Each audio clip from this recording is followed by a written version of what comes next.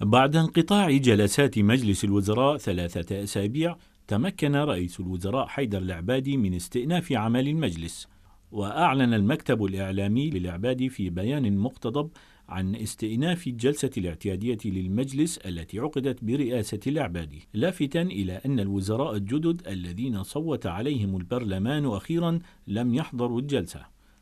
العبادي الذي يسعى لتعيين وزراء بالوكالة بدلا من الوزراء الكرد الذين قاطعوا جلسات المجلس بحسب مصادر مطلعة يعتزم تقديم طلب للمحكمة الاتحادية لاستدعاء الوزراء الخمسة الجدد الذين صوت عليهم البرلمان نهاية الشهر الماضي لترديد القسم الدستوري بدلا من البرلمان بسبب تعطل عمل مجلس النواب بسبب الأزمة السياسية ذاتها التي عطلت مجلس الوزراء.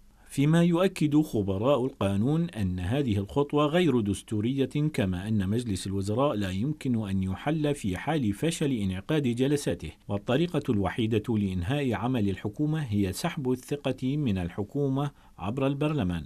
فيما يستمر الفراغ الدستوري وتعطل مؤسسات الدولة وإصابتها بشلل شبه تام بسبب تعطل عمل مجلسي الوزراء والنواب.